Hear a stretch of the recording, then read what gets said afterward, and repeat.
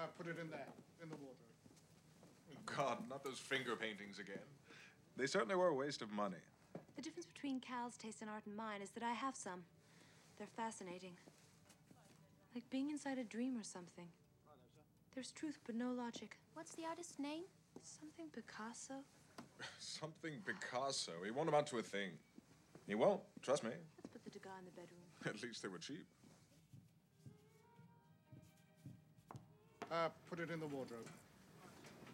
Let's see.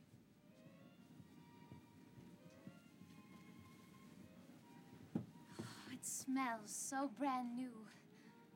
Like they built it all just for us.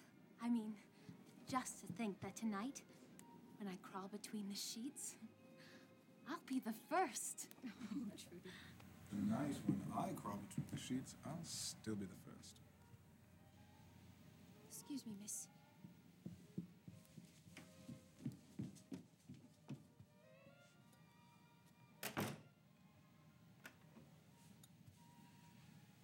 The first and only.